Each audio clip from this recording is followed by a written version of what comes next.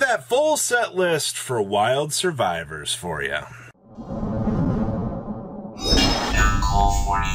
Don't make the 30% of you that have not smashed the living crap out of that subscribe button. Smash it so you guys don't miss out on more Oz content. And please check out Duel Daddy down below. I'll leave the links so you guys can check them out. They always make these amazing graphics for the community. So we have keep in mind this set releases uh, OTS launch is 531 and official launch date is 6-2 and it's also 450 a pack and there are 10 ultras in this set of which seven of those are Vanquish Soul, which is, oh boy, oh boy.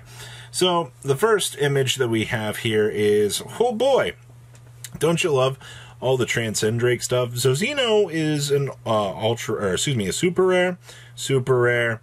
Um, all of your, your dinosaur stuff, except for ground Xeno, is low rarity. Like, that's, that's fantastic, right? Like, the Universal Surgery is currently low rarity. Okay, I mean, sure.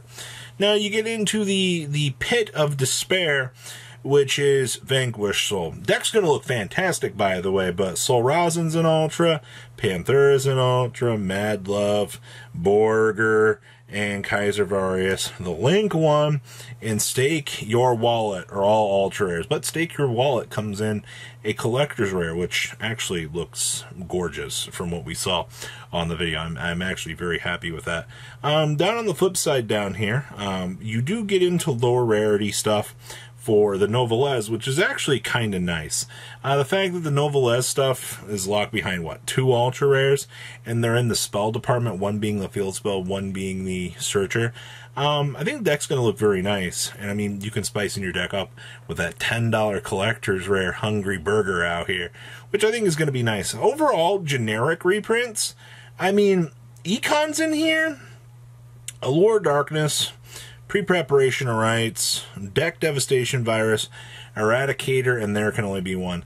And I'm hoping, full fingers crossed here, that deck devi, eradicator, and there can only be one end up as collector's rares because the community would love that. I'm actually hoping for the upgrade for DC Boo more than anything else that has like been shown on this set.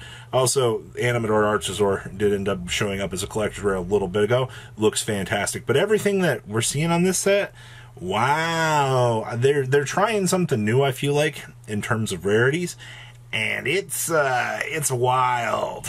Uh, pun intended. Please leave a comment down below. Tell me what you guys think, and uh, yeah, see your beautiful faces back here later in the day. Can't wait to see how pre-sales go for this set.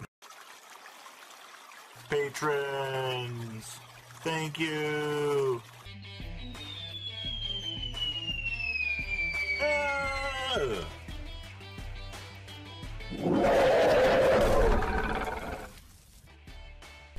Thank you so much for watching. Check out these other videos.